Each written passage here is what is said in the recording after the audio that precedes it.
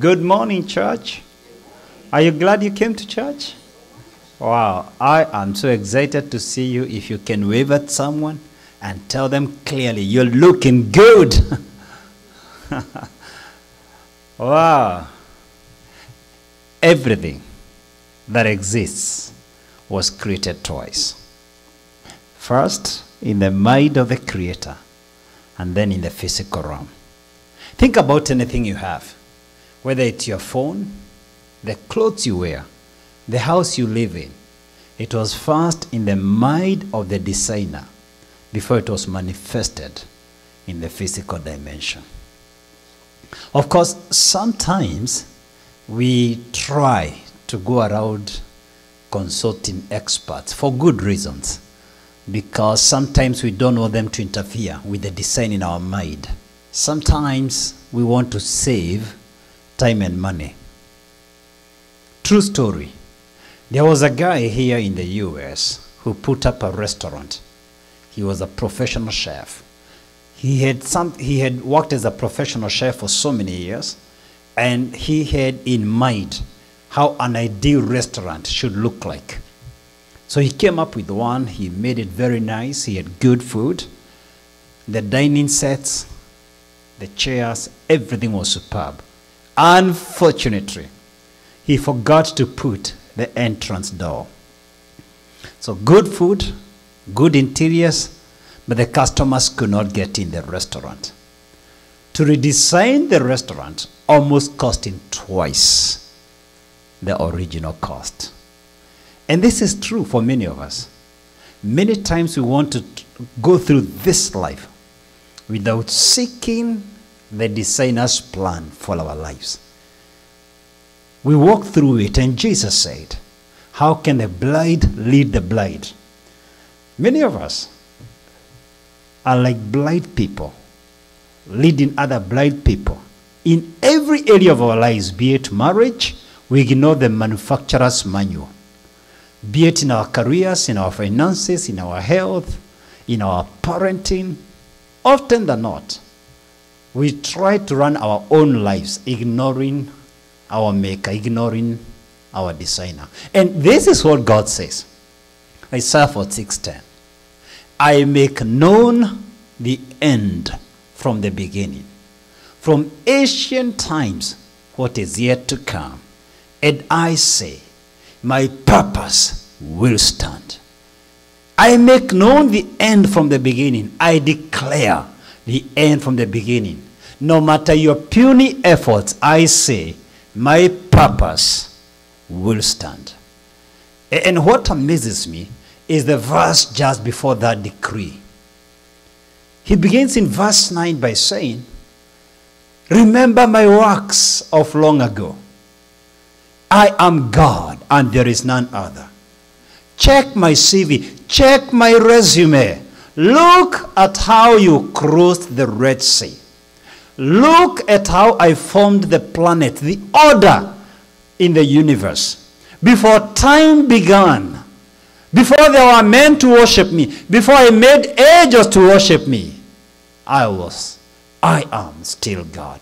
And now I'm telling you, I declare the end from the beginning. I already know the end before I start. I never start anything before I know the end plan, the end game. And this is what I'm saying now. No matter what you try to do, my purpose will stand.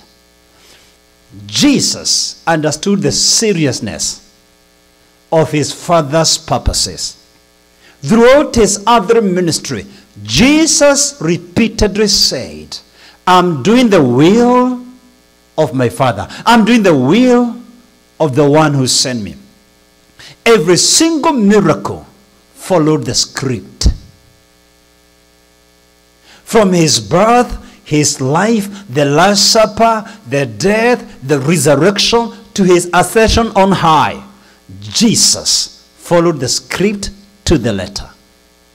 No wonder he accomplished his purpose in three years. No other person on this planet has ever accomplished such a divine purpose, even in an entire lifetime. And God comes and tells you this morning, Proverbs 19:21.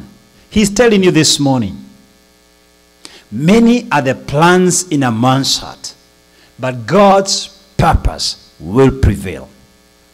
Irrespective of your plans, God's purpose will prevail over your plans. Can I therefore submit to us this morning?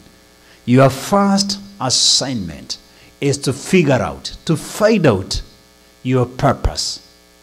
And your second assignment is to pursue that purpose, to know your master plan, to know what the programmer had in mind, and asking for the program, asking for the script. He says, Call unto me, and I will show you great and mighty things than you think not.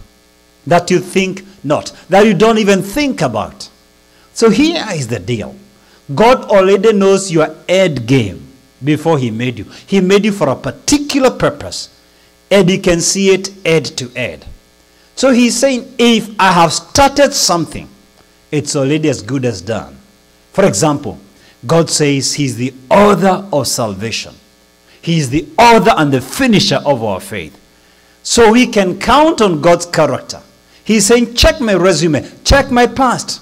Everything I said comes to pass.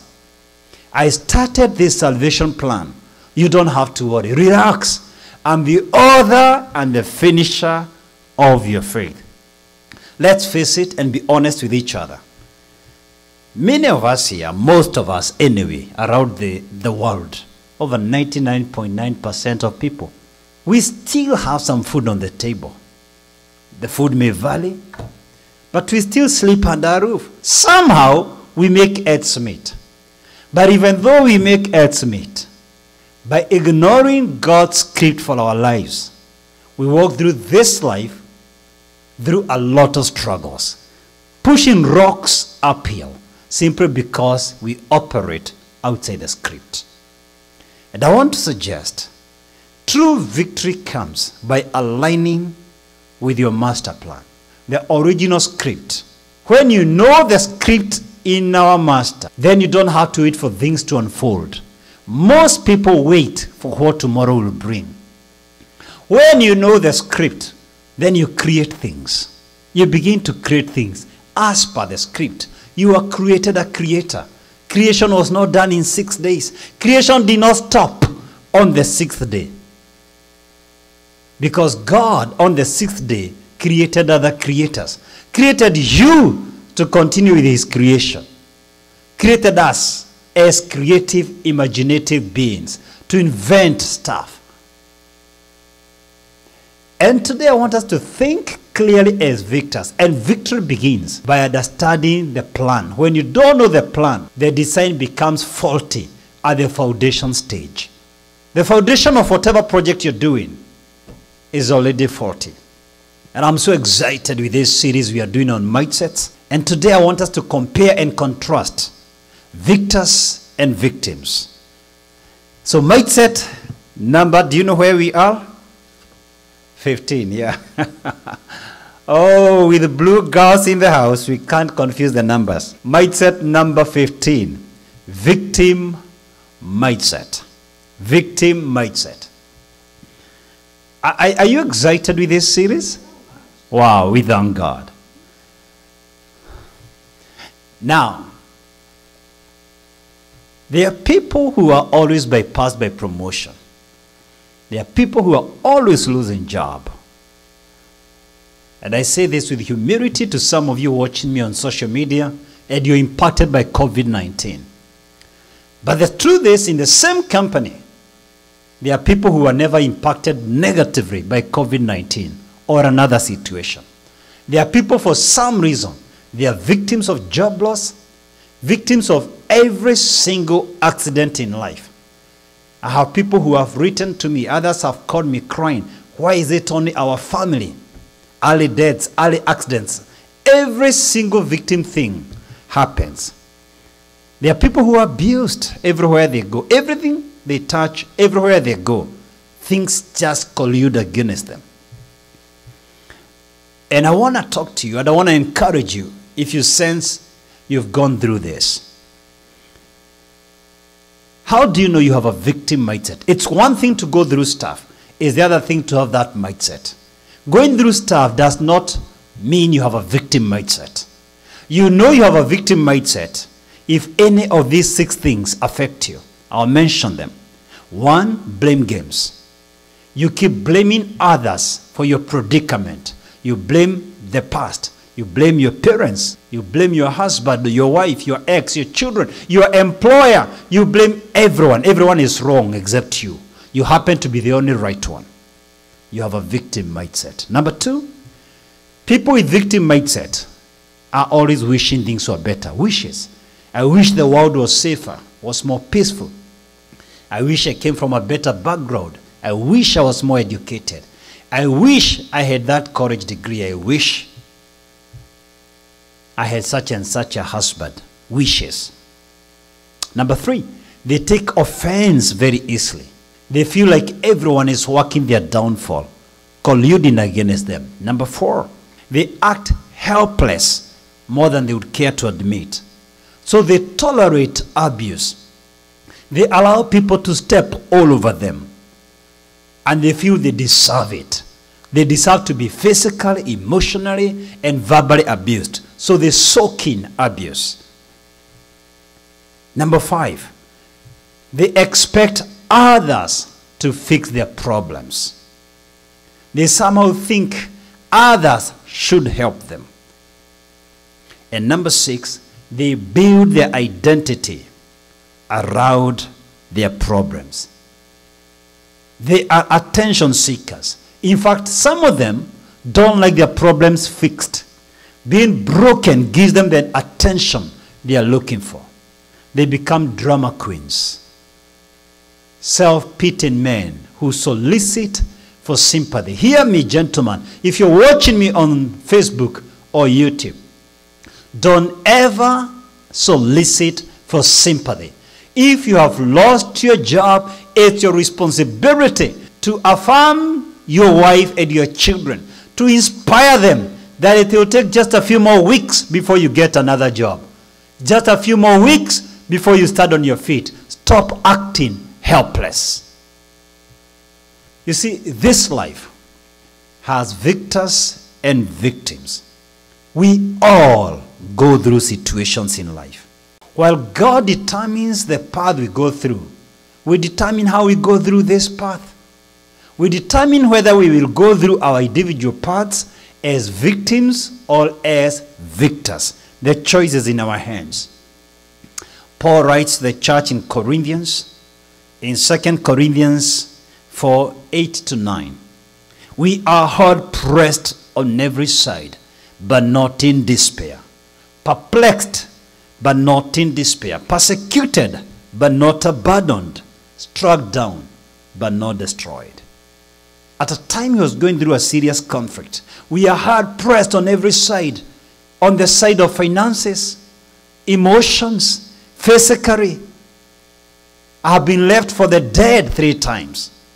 I've even fought with the beasts, shipwrecked three times. I'm hard pressed on every side, but not crushed. Uh uh-uh. uh, I'm not crushed. Even though I'm perplexed, I am not in despair. Even though I'm persecuted, I am not abandoned. I know the Lord is with me. I can ride on his promises that he will never leave me nor forsake me. Even though I'm struck down, I am not destroyed. Let's face it, sometimes we create our own mess. We create the mess in our own lives. I have personally seen people who play victim to the circumstances they themselves create. They create their own storms and then they get mad when it rains. I ask today, who do you think will sort out your mess? Who do you think lacks sleep because you're broken? And that's why I emphasize this morning never solicit for pity. Stand up and deal. You can't act a victim and heal. One mistake, with all due respect, a couple of Pentecostal Christian churches are making is to always pray for people's problems and make them believe God can solve all these problems and never tell people the truth of what they need to deal. I want you to know the truth, church, because only the truth that you know will set you free. Most of the things we pray in church are nonsensical. God will not sort them out. He created you as a thinking being with the power to choose, free will to choose. You have decisions you have to make and implement for your life to be better. When God says, for example, as long as the earth endures, Genesis 8:22, there will be sowing time and reaping time. It doesn't matter how you pray. That law stands. There will be sowing time and reaping time. If you do not sow, you will not reap. You can pray, you can fast, you can do all the drama in the church, but you will simply not harvest. It's that simple. God does not answer prayers that contradict His word. All prayers God answers are in line with His word. The Bible says He answers all prayers in accordance to His will. This is the confidence we have in Him that if we ask anything in accordance to His will, He heareth us. Sorry, I said it in the old King James. So there are prayers people have prayed for, and they flock in such churches because you're always encouraged that you're going to win without doing your part. There is God's part, there is your part. That's why we will continue teaching the truth here. Those who can handle the truth will walk with us. John 10:10 10, Jesus said, "The thief comes to steal, to kill and to destroy." And guess what he does? The enemy focuses on weak points, on the wounded. That's the one he targets to destroy. Just like in the jungle. It is the weak animal that is targeted by carnivores. It is the wounded, the limping animal that is killed. In nature, the weak animals get eliminated. Nature rejects weakness. Never, ever play weak. You play weak at your own peril. I'm not sure whether we are communicating. But I encourage you, stand up and deal. Don't solicit for sympathy. Solicit for synergies and partnerships on how to solve your issues. That way, you cross over from victim mindset to number 16 victor mindset. Victor mindset. I read of a story of a school bully who had a list of the boys he's going to beat. One little tiny boy went over to the bully and said, And here you have a list of the names of the boys you're going to beat. The bully said, Yes, that's true. Then the little tiny boy said, But you can't beat me. And the bully said, All right, I'll remove your name from the list. And that was the end of the story. A tiny thing with a victor mindset. I'll take your name off the list. That easy. You see, it's not the size of the man, but the size of his heart that matters. Allow me to tell you four things about people with a victor mindset. One, they expect victory. They expect to win. They expect favor. They expect honor. They expect to be rich. They expect to be healthy. Even when they are sick, they expect to recover. They expect to always have a job if they want to build a career along that area. If they're in business, they expect to succeed. They expect customers to flow. They expect to have stable marriages. They expect their children to be successful. They have good expectations. They have victory expectations, victorious expectations. Number two, people with a victor mindset, they don't blame anyone. They don't complain. They take responsibility for their situation, for where they are, for their income, for their relationships. They take total responsibility. Let, let me tell you something, guys. Please. You know, when a preacher stops, he's about to say something profound. the opposite of responsibility is not irresponsibility. The opposite of responsibility is liability. Whenever you don't take responsibility, you pay for it. There's a price to it. There's a liability to be paid. So take responsibility. Number three, people with a victim mindset, they don't wait for things to happen.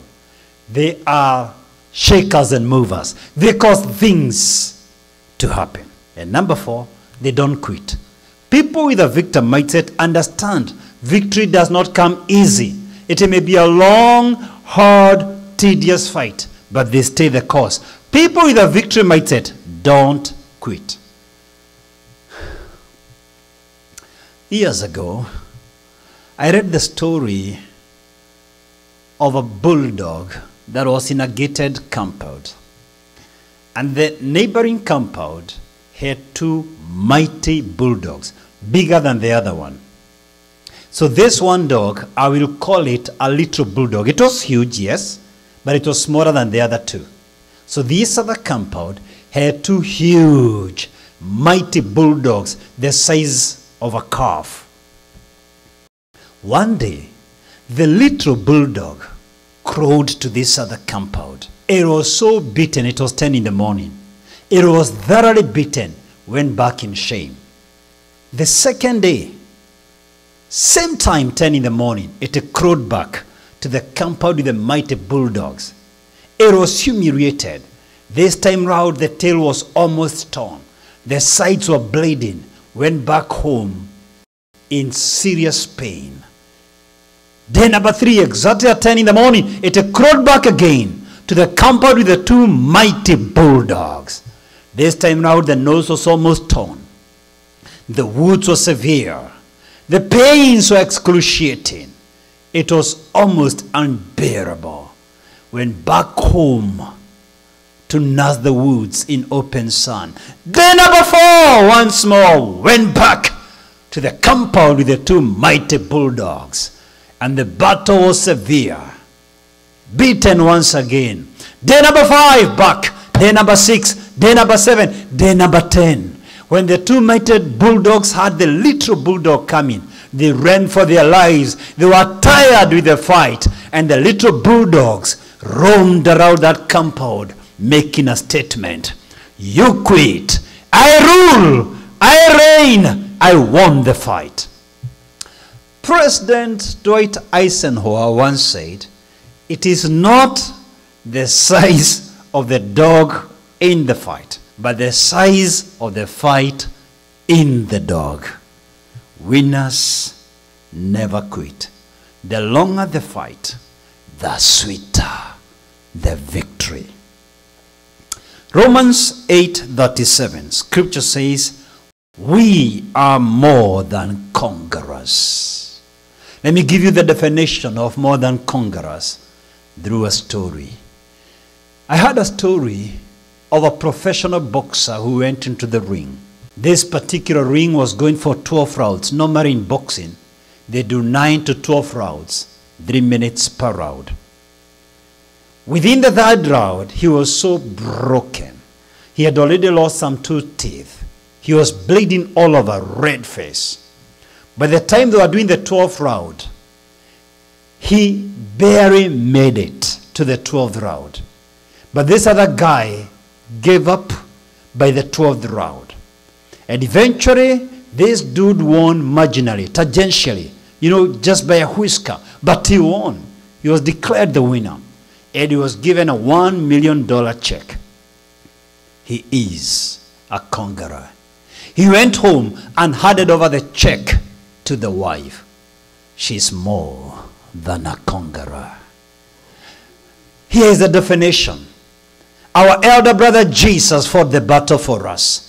He won the victory and handed over the victory. We don't need to go through the same thing. He said, All authority in heaven and on earth has been given unto me. I had over to you. I had over the keys to you. I am the conqueror. You are more than conquerors. The Bible says in Colossians 2:15, and having disarmed the powers and authorities, He made a public spectacle of them, triumphing over them by the cross. He made a public spectacle of the enemy, sort of a ring, bruised the enemy, and now handed over the victory to us. He came back and said, I have been bruised, but guess what?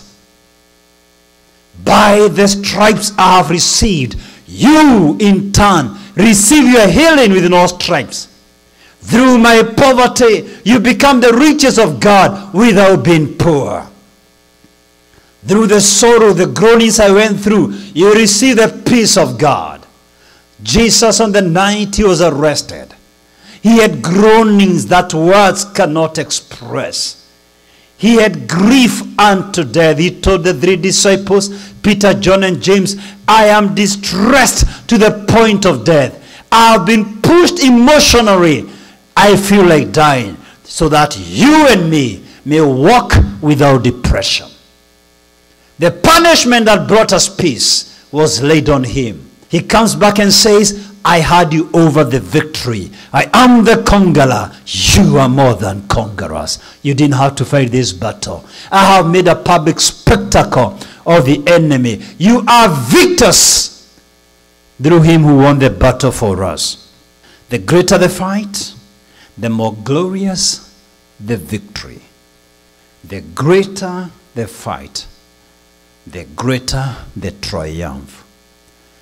It's easy to admire victors until you hear their story, until you get to know their journey. It's not whether you get knocked down. This life will hit you hard. It is whether you get up. You see, the 57 year old professional athlete, Michael Jordan, matters basketball. Let's be honest, he's a man among boys. And once he was interviewed about the secret of his success, let's borrow a leaf from his response. And I quote I missed more than 9,000 shots in my career. I have lost almost 300 games. 26 times I have been trusted to take the game winning shot and missed. I have failed over and over again in my life. And that's why I succeed. End of quote. Many of you know today, as at May 2020, he was rated by Forbes the most reliable source at 2.1 billion US. Uh, and you know he has signed a partnership with Nike. Money is not everything, but let's be honest with each other. Most problems people face through is about money. One of these Sundays, I'll just have a whole series on money. January, when I was just here praying, I had the Lord telling me to teach you in January back to the basics. And I'm requesting you, please think of one major change you're going to make in your life in 2021 to open a totally new chapter in your life. Think of one fundamental change, not a tangential change, not a marginal change. I'm talking of a quantum change, a big change that you're likely to make in your life. We'll be making some in this church. I encourage you, don't miss church the first Sunday of January. And I want you to think about it because I want to carry you along as we make critical changes in our lives. I don't know whether it's in your marriage, whether it's in your career, whether it's in your finances, whether it's how you handle emotions or anger, or even how you deal with friends and people. Think of one critical major change you may need to make. And we will focus on that. I'll call the series in January Back to the Basics. I'll be teaching you basic things that we have missed in church for so long. The meaning of salvation, the need for prayer, why come to church, why read the Word of God, and how do we read it? Back to the basics. And I'll open the first service with change. Why change is critical, and when you don't change, you perish. I'll show you why change must happen in your life or in any organization for it to continue to exist. Every organization, every individual must consistently reinvent themselves, recreate themselves, rebrand themselves. That's the whole idea. Tennis star Serena Williams said, You have to believe in yourself when no one else does. I read a scripture many of you know in Romans 8 38 to 39. I'll just paraphrase this morning. Nothing can separate us from the love of God which is in Christ Jesus. In other words, we are unbeatable. We cannot be defeated by anything, not height, not depth, not the present, nor the future, not angels, not demons, not life, not death. Nothing, nothing, nothing can separate us from the love of God which is in Christ Jesus. We cannot be defeated. Romans 8:31 If God be for us, who can be against us? That means before you can beat me, you have to come through God. You have to pass through God first. If God be for us, can COVID defeat us? Talk to me. If God be for us, can drugs defeat us? Talk to me. If God be for us, can sickness defeat us? If God be for us, who can be against us? Nobody. Shall we pray? Lord, we thank you this beautiful morning. We receive your word. We honor you. We love you. We thank you for your word. As we pray, those of you watching me on Facebook and YouTube, I want to give you a chance to give your life to Jesus Christ, to be your Lord and Savior, and have a new beginning. Pray this prayer with me. Lord Jesus Christ, come into my heart. Be my Lord and my Savior. Fill me with your Holy Spirit. I am now saved. I am now born again. I am now your child. In Jesus' name, amen. For the rest of us, let's pray. Father God, I pray in the name of Jesus, bring peace to a family that is going through serious stress, serious distress. Come through for them, O God. Make them to agree. May the Prince of Peace come between a husband and a wife, children and parents, siblings, to the praise of your name. Father God, in the name of Jesus, there are people watching us from hospital beds. Others are sick right in their homes. We pray in the name above all names, the Lord who heals us. You sent your word and healed our disease. May you heal them, God, from their head to their toe. You healed me, Jesus. Heal them, dear God. In the name of Jesus, name above all names. There are people who are mourning because they have been left by their loved ones. Their loving mom, their loving dad, their loving brother, their loving sister, their loving child, their loving grandparents. Comfort them, dear God. Comfort can only be found in you. Open their eyes to see the power in your resurrection, the hope in your resurrection. Blessed be your name, O God. Blessed be your name. Restore every marriage that is going through a difficult situation. Save situations in people's lives, oh God. Bless the entrepreneurs watching me, Father. Let them be kingdom fathers. Bless them so much that they will support your work to the glory of your name. Thank you for our students struggling to raise their school fees. Come through for them, oh God. Let them not drop out of school. Come through for them because God, you own cattle in a thousand hills. You can clear the school fees balances for this student. You can clear the hospital bills for this one you healed. Come through, Father, for everyone watching us today to the glory of your name. Thank you, Jesus. We love you, Lord. We honor your name. Glory to God in the highest. In Jesus' name we pray. And God's children said, Amen and amen.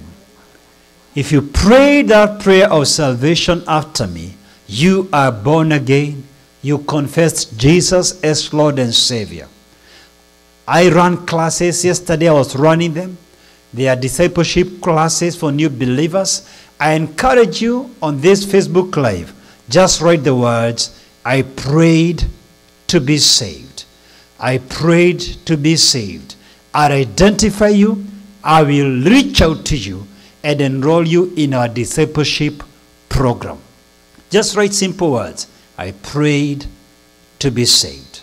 I prayed to be saved. Thank you and God bless you. Shalom.